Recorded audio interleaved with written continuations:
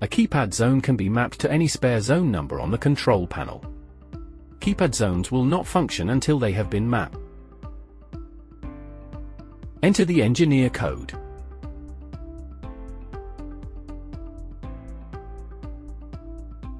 Use the scroll keys to select keypad setup.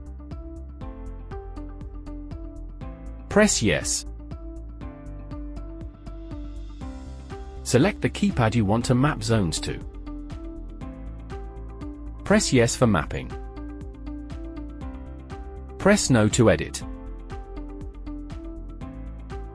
Enter the zone number you want to map zones 1 on the keypad to. Press No again to map keypad zone 2. Press Yes to save. Zone types and attributes can now be programmed in the Zone Setup menu. Press Menu, Menu, 0, Yes to log out today mode.